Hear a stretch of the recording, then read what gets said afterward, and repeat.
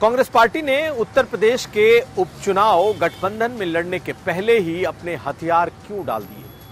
क्या है इसकी इनसाइड स्टोरी बीती रात अखिलेश यादव से आखिर क्या बात हुई और उसके बाद कांग्रेस पार्टी ने चुनाव न लड़ने का फैसला कर लिया? क्या होगा इंपैक्ट हम ये समझेंगे।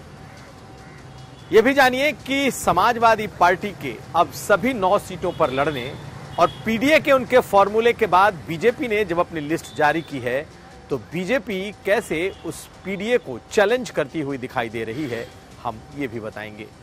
तो ये दोनों खबरें आज का यूपी में। नमस्कार, मैं हूँ कुमार अभिषेक। आप देख रहे हैं यूपी तक। हम हाजिर अपना न्यूज़ शो आज का यूपी लेकर। जी हाँ तो बात होगी कांग्रेस पार्टी के उपचुनाव में। चुनाव लड़ने के पहले ही हथियार डाल देने अमूमन ऐसा नहीं होता कि एक पार्टी जिसका इतना बड़ा आधार कभी रहा हो, जिस पार्टी ने पार्लियामेंट में काफ़ी बेहतर प्रदर्शन किया हो, उसने उपचुनाव में आखिरी वक्त में यह कहकर पल्ला झाड़ लिया कि सभी सीटें अब इंडिया गठबंधन लड़ेगा और समाजवादी पार्टी के सिंबल पर लड़ा जाएगा। जी हाँ यह बात हालाँकि अखिलेश यादव ने अपने ट्वीट में बताई कि सभी सीटों पर समाजवादी पार्टी के सिंबल पर इंडिया गठबंधन के उम्मीदवार चुनाव लड़े। लेकिन इसे कांग्रेस पार्टी का एक तरीके से इस उपचुनाव में हथियार डालना माना जा रहा है। पिछले महीने भर से ज़्यादा चल रहे सीटों के नेगोशिएशन के बाद बिल्कुल आखिर वक्त में कांग्रेस पार्टी ने यह कह दिया कि वो अब इस चुनाव में नहीं जाएगी। तो इसके पीछे की वजह क्या है? दरअसल, कांग्रेस पार्टी को पहले जो सीटें ऑफ़र की गई थी, कांग्रेस पार्टी वो सीटें नहीं लड़ना चाहती थी। पहले कांग्रेस पार्टी को सिर्फ़ दो सीटें समाजवादी पार्टी ने ऑफ़र की थी, खैर, और गाजियाबाद। बाकी सात सीटों पर उसने अपने सपा ने अपने कैंडिडेट्स का ऐलान कर दिया था। कांग्रेस पार्टी ये दोनों सीटें लड़ना ही नहीं चाहती। वो चाहती थी कि अगर ये सीटें लड़े भी तो उन्हें अतिरिक्त दो ऐसी सीटें दी जाएँ जो कम से कम मुस्लिम बहुल हो। कम से कम कांग्रेस पार्टी आने वाले वक्त में अपने उस वोट बैंक को कुछ बता सके, जता सके और उसमें से कुछ को जिता सके। जी हाँ कांग्रेस पार्टी शुरू से चाहती थी कि उसे कम से कम दो सीट मीरापुर और फूलपुर दी जाए। तीसरी पसंद मझवा थी, चौथी पसंद खैर और गाजियाबाद तो उसकी पसंद में थी ही नहीं। बावजूद इसके उन्होंने पाँच सीटों में उसका नाम रखा था। अखिलेश यादव ने दो सीटें देने का ऐलान कर दिया, लेकिन जब कांग्रेस पार्टी को लगा कि ये सीटें अगर वो लेती है तो इसमें हारने की गुंजाइश ही ज़्यादा है। या यूँ कहें, उस सीट को जीतना लगभग नामुमकिन था। यानी जैसे खैर की सीट, समाज, कांग्रेस पार्टी को जीतना और गाजियाबाद की सीट, ये दोनों सीटें जीतना कांग्रेस के लिए लगभग उन्हें लगने लगा कि यह नामुमकिन है। इसलिए धीरे धीरे यह परसेप्शन बनने लगा कि क्यों ना चुनाव ही न लड़ा जाए, जिस तरीके से सपा ने हरियाणा में चुनाव के पहले ही मना कर दिया था, उसी तरीके से उत्तर प्रदेश को भी कांग्रेस पार्टी मना कर दे क्योंकि कांग्रेस पार्टी ने जिन दो सीटों की मांग की थी, जिस पर वो लड़ना चाहती थी, वो दोनों, उसमें से एक मुस्लिम बहुल सीट थी और वो था मीरापुर, जिसमें वो कादिर राणा के ही परिवार को कांग्रेस पार्टी भी लड़ाना चाहती थी। और अगर कादिर राणा के परिवार को वो नहीं लड़ाती तो वो इमरान मसूद के ज़रिए वहाँ पर चुनाव लड़ने की ताक में थी। समाजवादी पार्टी ने इसे पहले भांप लिया था और इसलिए समाजवादी पार्टी ने दो से तीन दिन पहले मीरापुर की सीट का ऐलान कर दिया। समाजवादी पार्टी ने मुस्लिम चेहरा उतारा और दूसरी सीट जो कि फूलपुर की थी, वहाँ भी समाजवादी पार्टी ने एक मुस्लिम चेहरा उतार दिया। कांग्रेस पार्टी अगर इन सीटों को लेती भी तो कांग्रेस पार्टी पर आरोप लगता कि वो समाजवादी पार्टी से मुस्लिम चेहरे को हटाकर अपना उम्मीदवार लाना चाहती है। और फूलपुर में तो यही दिखाई देने लगा था। कांग्रेस पार्टी वहाँ पटेल लड़ाना चाहती थी और अखिलेश यादव ने अपने पूरे, पुराने कैंडिडेट मुस्तफ़ा सिद्दीकी को वहाँ पर उतार दिया था। ऐसे में यह मैसेज जाता कि कांग्रेस पार्टी ने अपने कैंडिडेट के लिए वहाँ समाजवादी पार्टी के मुस्लिम चेहरे को हटा दिया। खैर, ये सब ऐसी चर्चाएँ हैं जो माना जा रहा है कि यह वजह है कि कांग्रेस पार्टी मन माफिक और मन मुताबिक सीटें न मिलने की वजह से उसने बैक ट्रैक कर लिया, उसने सीटें लड़ना ही छोड़ लेकिन कोई भी पॉलिटिकल पार्टी अगर चुनाव नहीं लड़ेगी और इस तरीके से चुनाव छोड़ेगी तो क्या उसके कार्यकर्ता जागृत रहेंगे। क्या वो अपने कार्यकर्ताओं में जोश भर पाए भर पाएगी? छः सीटें जीती है कांग्रेस पार्टी आ, 2024 के चुनाव में। अच्छी खासी उत्साहित थी। उसे लग रहा था कि समाजवादी पार्टी के साथ मिलकर वो अच्छा उपचुनाव लड़ेगी। लेकिन समाजवादी पार्टी ने पहले ही अपने सभी पत्ते खोल दिए। नेगोशिएशन का कोई मौका ही नहीं दिया। इसलिए कांग्रेस पार्टी को लगा कि यहाँ पर चुनाव लड़ने से बेहतर है चुनाव छोड़ देना क्योंकि चुनाव लड़ना खतरे से खाली नहीं। और दूसरी जो सबसे बड़ी वजह कल रात को पार्टी ने तय किया, वो ये कि प्रियंका गांधी चूँकि वायनाड से चुनाव लड़ रही हैं। प्रियंका गांधी उत्तर प्रदेश में कांग्रेस की प्रभारी रही हैं। पूरे उत्तर प्रदेश में प्रियंका गांधी की एक बड़ी पहचान है और कार्यकर्ता उनसे जुड़े हुए हैं।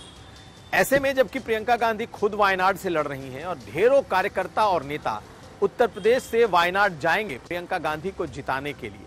ऐसे में कांग्रेस पार्टी कम से कम फोकस हो करके एक सीट यानी प्रियंका को संसद में पहुँचाने की जुगत में रहेगी और उत्तर प्रदेश में उसका चुनाव या तो पूरी तरीके से अखिलेश यादव के भरोसे रह जाएगा या फिर वो चुनाव हार जाएगी। इसी सोच के बाद पार्टी ने बीती रात जब आ, आ, समाजवादी पार्टी से बात की या यूँ कहें आखिरी तौर पर जब आ, राहुल गांधी की अखिलेश यादव से देर शाम बात हुई तो ये तमाम बातें उसमें डिस्कस हुई। एक अहम बात, अखिलेश यादव ने कल ऑफ़र किया था राहुल गांधी को कि आप फूलपुर लड़ना चाहते हैं, हम आपको फूलपुर की सीट देते हैं। आप खैर लड़ना चाहते हैं, हम आपको खैर की भी सीट देते हैं। और आखिर में अगर आप गाजियाबाद भी लड़ना चाहेंगे तो गाजियाबाद भी देंगे। लेकिन कहते हैं कि कांग्रेस पार्टी के लिए अब देर हो चुकी थी। कांग्रेस पार्टी ने पिछले कुछ दिनों में जिस तरीके से समाजवादी पार्टी के साथ गठबंधन को लेकर खींचतान खींचतान चली गठबंधन को लेकर सपा और इनके जो आ, आपस की जो बातचीत थी वो पटरी पर नहीं आ, आ पाई। इसके बाद कांग्रेस पार्टी ने भी मन बना लिया था कि वो चुनाव नहीं लड़ेगी। उसका फोकस वायनाड होगा। ऐसे में ये आप मान लीजिए कि कांग्रेस पार्टी ने काफ़ी कुछ सोचकर ये फैसला ले लिया। तो अब समाजवादी पार्टी अकेले चुनाव में आ रही है। ये ज़रूर है कि ये कहा जा रहा है कि समाजवादी पार्टी और कांग्रेस अब एक साथ आएँगे, लेकिन ये एक फेस सेविंग फॉर्मूला है। कांग्रेस पार्टी को इस चुनाव से, कांग्रेस पार्टी ने खुद को चुनाव से दूर रखा है और इस फेस सेविंग फॉर्मूले के तहत उसने चुनाव को छोड़ दिया है। हालाँकि एक राजनीतिक पार्टी के लिए हार जीत को तोल करके चुनाव को छोड़ देना, कहीं से सियासी अक्लमंदी नहीं कही जाएगी। अब अगली खबर। तो अब कैंडिडेट के ऐलान के साथ ही इंडिया गठबंधन और एनडीए के बीच की लड़ाई बिल्कुल साफ़ साफ़ हो गई। यानी कि आमने सामने की अब ये लड़ाई होगी। ये तय है। अखिलेश यादव ने फिर से एक बार पूरा दांव पीडीए पर लगाया है। यानी कि उनके सभी नौ के नौ उम्मीदवार पीडीए से हैं, यानी कि पिछड़े दलित या फिर अल्पसंख्यक। और इस बार एनडीए गठबंधन ने भी इस दांव के उलट, इस दांव को पलटने की, का खेल शुरू किया है। इस बार बीजेपी ने जो अपनी सात सीटों का ऐलान किया है, और आरएलडी ने भी मीरापुर से पीडीए यानी कि पिछड़ी जाति से ही मिथिलेश पाल को अपना उम्मीदवार बनाया है। ये एक पॉलिटिकल फैमिली है और पाल बिरादरी से आते हैं ओबीसी से आते हैं। अखिलेश यादव ने एक नया प्रयोग इस बार फिर किया अयोध्या की तर्ज पर। और गाजियाबाद है, जो कि बीजेपी कभी हार ही नहीं है मतलब लगातार बीजेपी जीतती रही है।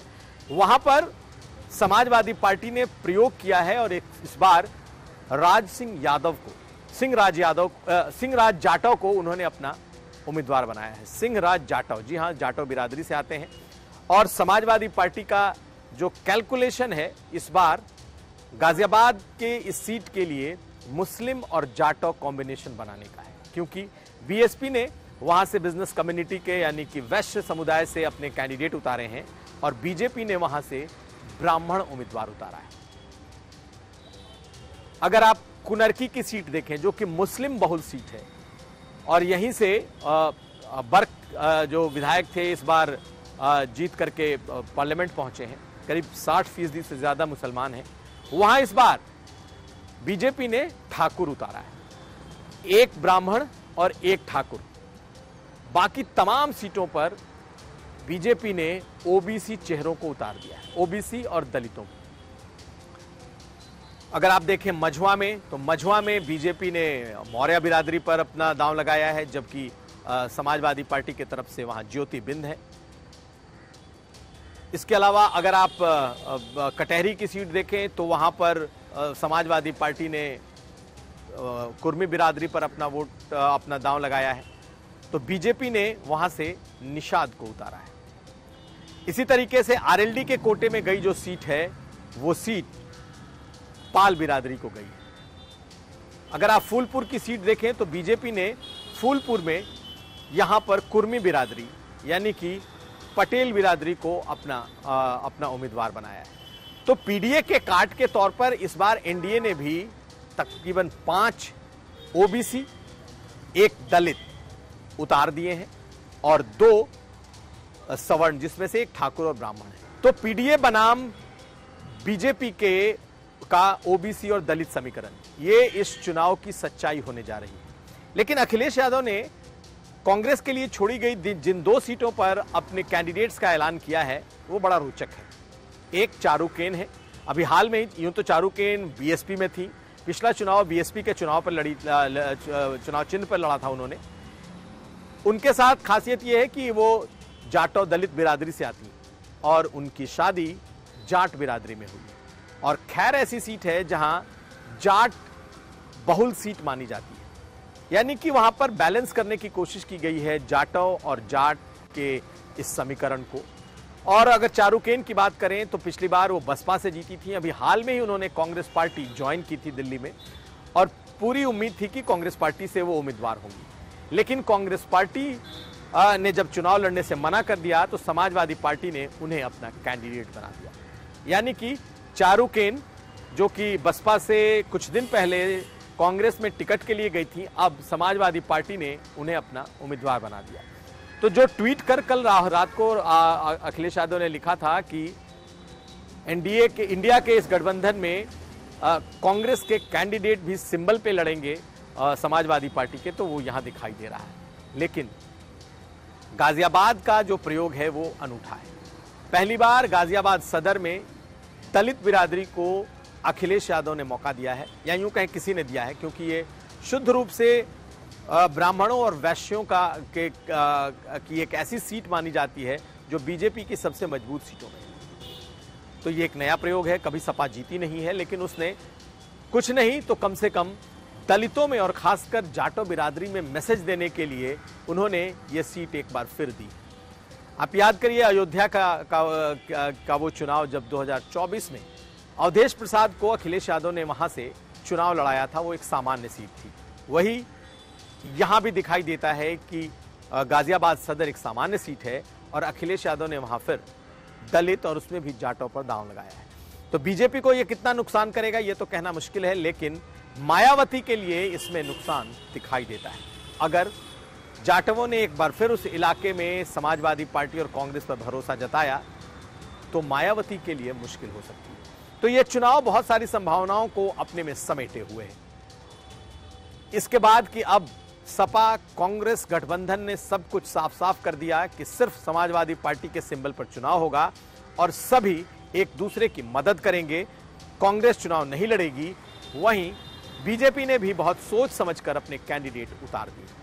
ऐसे में अगड़ा बनाम, पिछड़ा करना और संविधान को खतरे में बता करके वोट लेना, इस बार किसी भी गठबंधन के लिए, खास करके इंडिया गठबंधन के लिए मुश्किल होगा।